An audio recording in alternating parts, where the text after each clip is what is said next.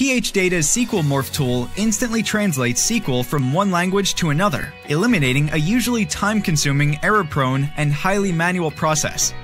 Migrating between database systems is not an easy task, leaving organizations stuck with legacy systems that no longer serve them.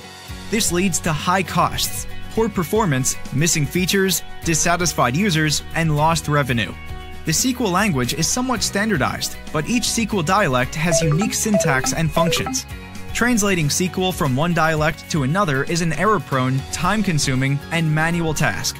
In order to accurately translate SQL, you need to know not only the source dialect, its syntax, supported features, and functions, but also the target dialect and its syntax, supported features, and functions.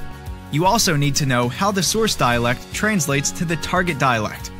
Introducing SQL Morph, phData's tool for automatically translating SQL from one dialect to another.